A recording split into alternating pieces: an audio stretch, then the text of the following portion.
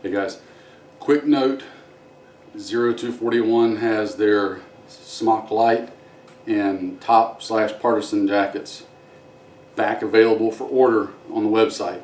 So if you are looking for one, now's the time to go jump on that and do it. Um, Sean only makes those available in, in batches. So once he gets a certain amount of orders, he's going to cut it off again until he gets caught up. Then he'll open it back up for, for orders again. So if you want in, you've been waiting, now's the time. Get in and uh, hopefully you can uh, get this one. If I had to guess, I'd say you know, by Christmas time, but I'm not the one making them, so I can't tell you that for sure. I'm just making a guess. Do it. You won't regret it. Trust me.